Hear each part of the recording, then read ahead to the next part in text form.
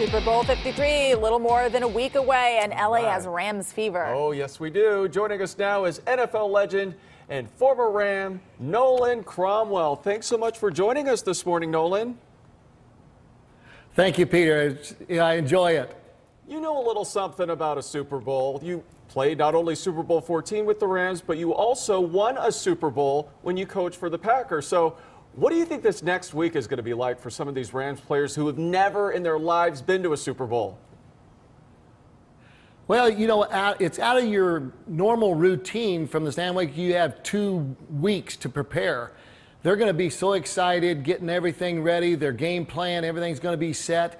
And then, but the game never gets here. It just seems like the, that next week is a long week of preparation and going and, and uh, trying to keep yourself focused. Uh, you're used to one week, now you got two. He just keeps on going. And uh, but uh, I'm sure Sean McVay will uh, be creative enough to keep them guys focused and ready to go. So Nolan, a lot of die-hard Rams fans right now are probably looking back to the glory days, looking back to your time with the Rams, and I'm just curious to know if you see any similarities between this team and the Super Bowl Rams team of years past.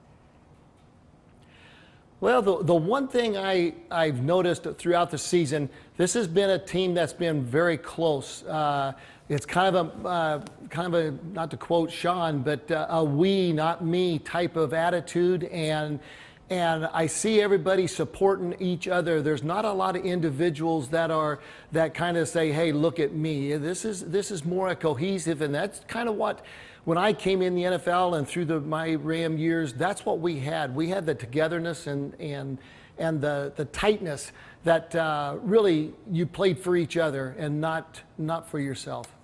Hmm. Let's talk about Jared Goff. Obviously, Nolan, he's one of the youngest stars in the league, going up against arguably the best quarterback of all time, Tom Brady. How is that going to be an issue?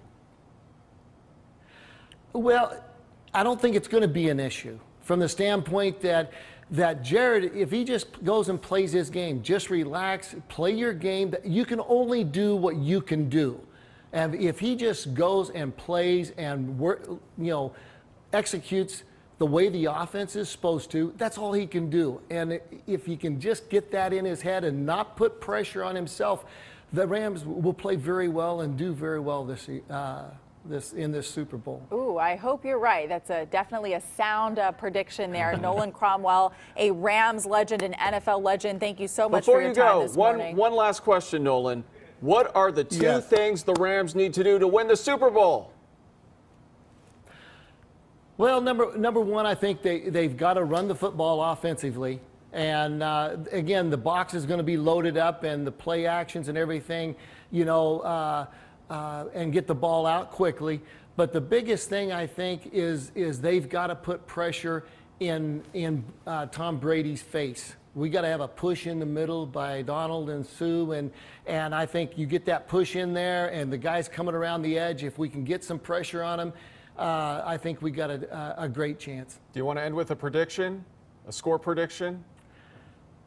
Well, you know what? I, I tell you what, I think it's going to be 27 to 21. Ooh, close game. Okay.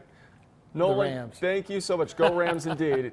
NFL legend Nolan Cromwell, thank, thank you so you much so for much. your time, sir.